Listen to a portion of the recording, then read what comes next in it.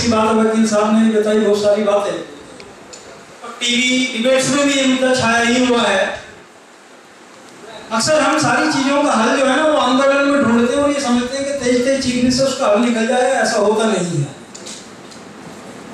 रास्ता संविधान ही है और वहीं से रास्ता निकलेगा।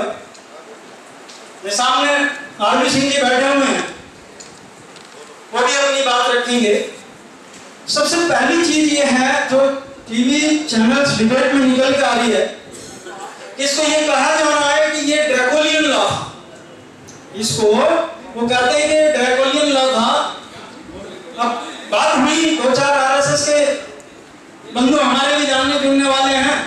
तो कहने लगे ड्रैकोलियन मैंने कहा ये ड्रैकोलियन लॉ की ज़रूरत क्यों पड़ी? अगर आप इसे ड्रैकोलियन लॉ कहते हो तो ये जो क्राइम हुआ भी ड्रैकोलियन है।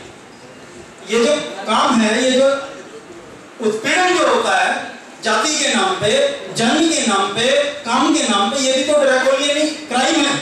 और इसको खत्म करने के लिए इसी तरीके की कोई ऐसी चीज़ चाहिए। अब मोहन भागवत जी ने अभी इनका एक महासम्मेलन हुआ। मैं उन्हीं की बात से थोड़ा सा बस केवल दो मिनट में समराइज कर दूँगा तो मोहन भागवत जी ने एक बात कही थी, पूरे राष्ट्र को संबोधित करते हुए उस महासम्मेलन में, क्योंकि हमें इन चीज़ों को इंटरप्रेट करना बड़ा ज़रूरी है। सारी चीज़ों की शुरुआत होती है जब हम रिएक्ट नहीं करते हैं। तो उन्होंने कहा कि आप असल सांस्कृतिक सांस्कृतिक रूप से हिंदू हैं। अब इस बात को समझने वाला है कि सांस्कृतिक रूप से आप हिंदू हैं, लेकिन धार्मिक रूप से हिंदू केवल ब्राह्मण। उनकी इस बात को समझना ज़रूरी है कि हम केवल सांस्कृतिक रूप से हिंदू हैं। सांस्कृतिक हिंदू का मतलब क्या होता है? आप उनके सारी धार्मिक गतिविधियों को चलाइए। क्योंकि वो अकेले दो तीन चार परसेंट से तो चलने वाली है नहीं।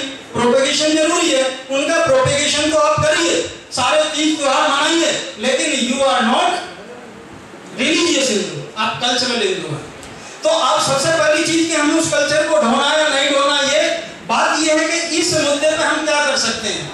कॉन्स्टिट्यूशन हमारे को एक रास्ता देता है और कॉन्स्टिट्यूशन रास्ता ये देता है कि जो भी कुछ कोर्ट ने किया है ये वकील साहब बता सकते हैं, बता चुके हैं पहले ही कि वो एक व्यक्तिगत मामला था महाराष्ट्र का। और महाराष्ट्र के उस मामले में जब ये सुप्रीम कोर्ट में आया, ये बात पहले भी बताई जा चुकी है कि जो केंद्र सरकार है, उसने ठीक से सुनवाई अपनी पैरवी नहीं की सब बता रहा हूँ कैसे?